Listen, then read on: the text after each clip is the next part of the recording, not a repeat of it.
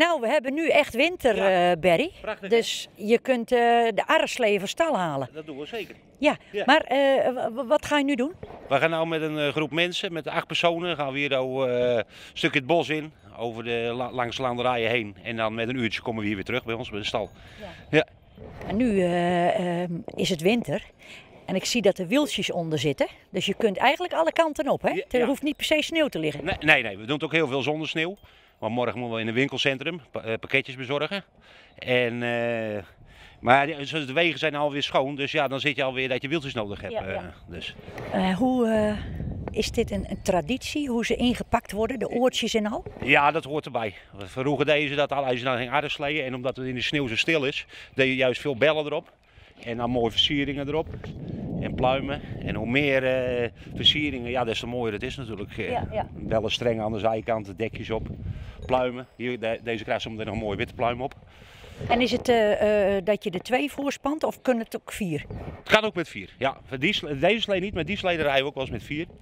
En, maar dat is een hele grote slee, dus vandaar dat we er nou twee voor hebben. Ja. En, en we hebben ze vanmorgen vroeg op scherp gezet, dus lange stiften eronder voor het glijden. Nou, dat heb ik nog nooit gezien zeg. Maar die paardjes hebben geen last van de kou, hè? Nee, nee, nee. nee, nee En ik denk jij ook niet, nee, hè? ook niet, nee. Nee, nee, lekker warm aangekleed, muts op, Ja. bontjas aan, dan komt het wel goed.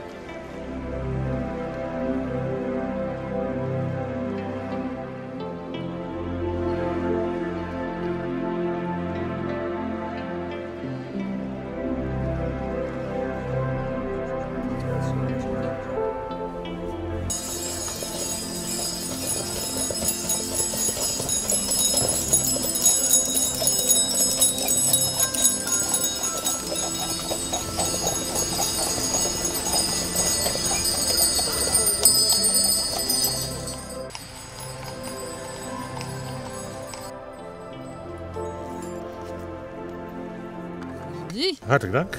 alsjeblieft. Proost. Het lijkt wel zondagochtend. Wijntje erbij. Ik hou wel van zulke soort feestjes.